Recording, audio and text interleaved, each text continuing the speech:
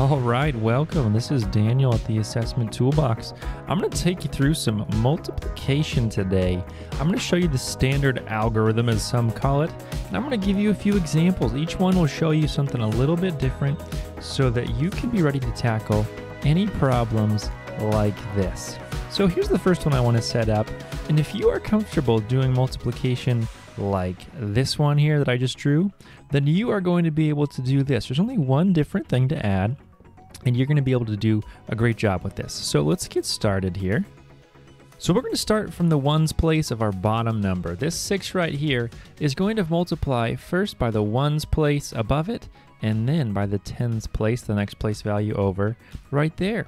So I'll show you that. 6 times 4, and I'd encourage you to solve it with me as we go, because that strengthens your math muscles. 6 times 4 is 24, but we don't write it down here, 24 like that because there's another number in that place value that we're going to have to multiply it by. So I'm going to stick it up here as a reminder that I'm going to add two more because I already have a 2 in this place value from our 24. All right, 6 times 2, this 2 right here is the next step, 6 times 2 plus this 2 up here. 6 times 2 is 12, plus 2 is 14. Now, if I had another number here, I'd add my 1 up there. But since I don't, I can put it down in the answer right here. Great. So 6 times 24 is what I just solved, 144. Now with this 3, here's my one new step since I have a second digit. This 3 does not stand for just the number 3, it stands for 3 tens or 30. And 30 times 24 is a different number. So how do I show that in my answer column? What I'm going to do is I'm going to stick a zero right here. And that's really clever because that's the zero from 30. What it does is now I can multiply just by 3 instead of 30, and this 0 shifts all my next answers over one spot, putting them in the correct place value. So 3 times 4 is next. 3 times 4 is 12. Since I have this number up here, I need to put my 1 up here. Now, warning sign right here. I've seen so many students get off track with this. They get confused because they add the numbers up here. Man, you've really, really got to cross this one off so it doesn't show it there, or really erase this one completely and then stick in your new one so you don't get confused.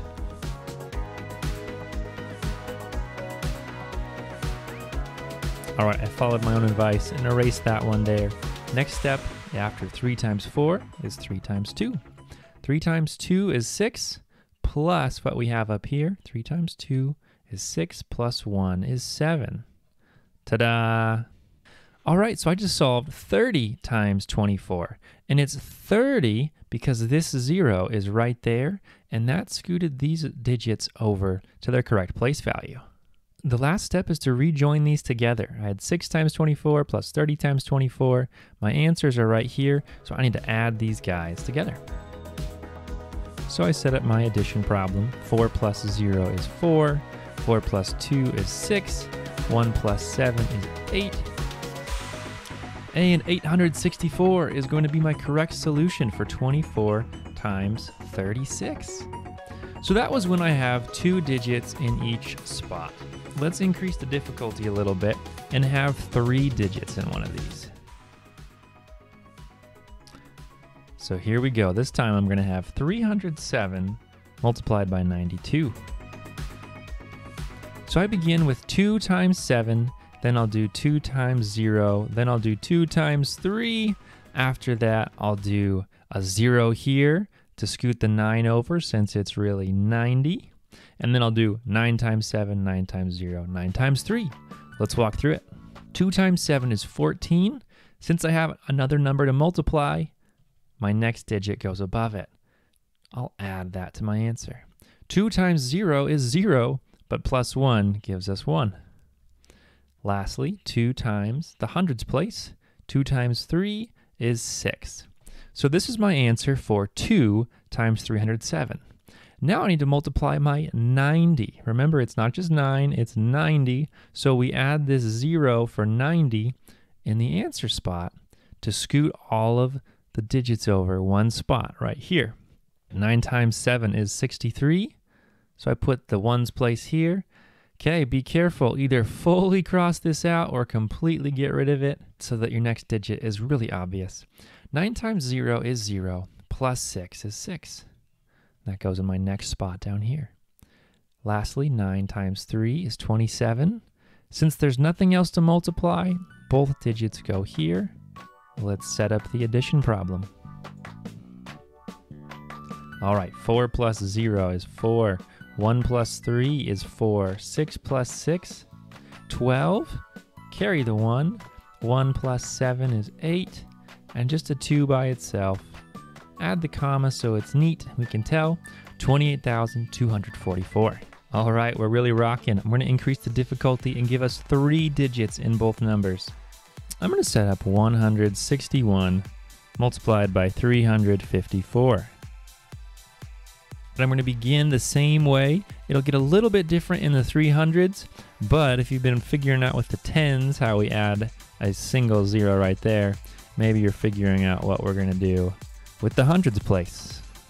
Let's begin. 4 times 1 is 4. 4 times 6, 24. Carry the 2 since there's another one to multiply.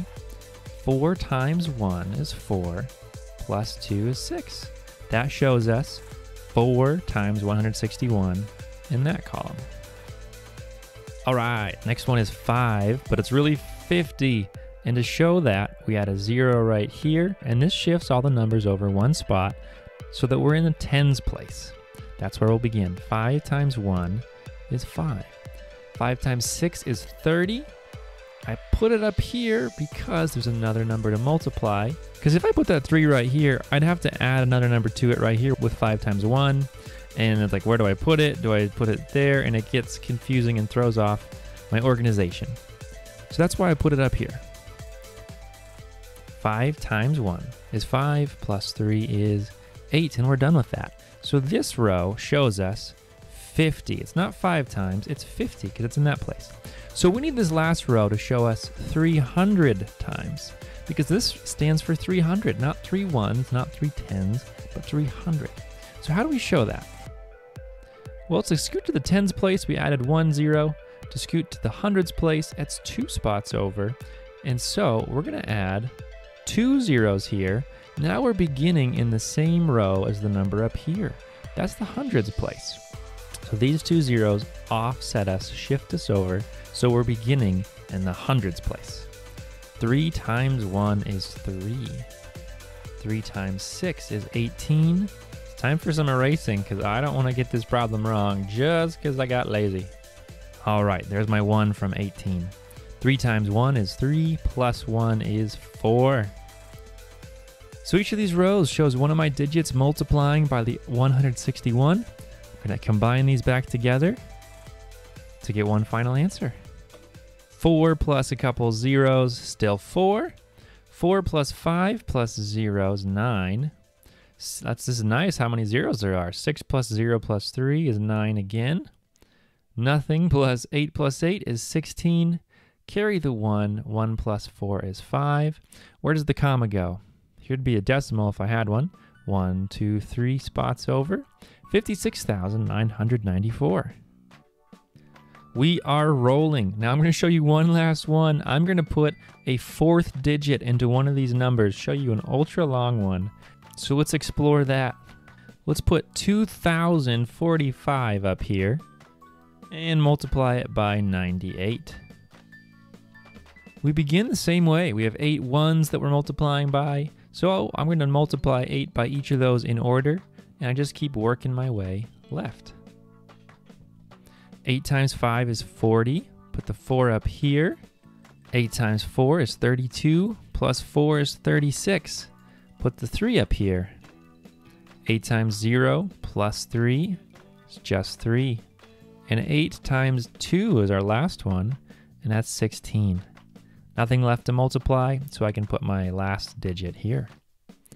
All right, this 9, it really stands for what? 90. So we show that with that 0 there. 9 times 5 is 45. Okay, lucky me. There's a 4 here already. I'm going to keep it and stay organized in my mind. 9 times 4 is 36, plus 4 is 40.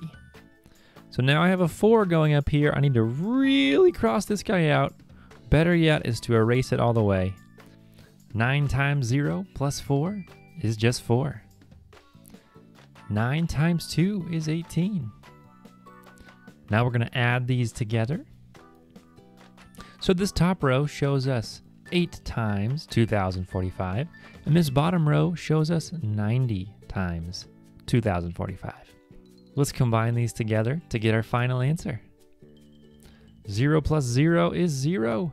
6 plus 5 is 11. Carry the 1. 1 plus 3 is 4. 6 plus 4 is 10. 1 plus 1 plus 8 is the same as 2 plus 8 is 10. And 1 plus 1 is 2. If I had a decimal, it'd be right here. So the comma will go 1, 2, 3 spots over. 200,410. All right, so we did it. That was a lot of multiplication. Each one had a slightly different challenge. Now, the great thing is, this is a video. If you need to go back to any part and rewatch it, you can. If you're still getting stuck, ask your teacher or leave a comment. But I think you are ready to tackle and dominate problems like this multiplying multi digit numbers. Go for it.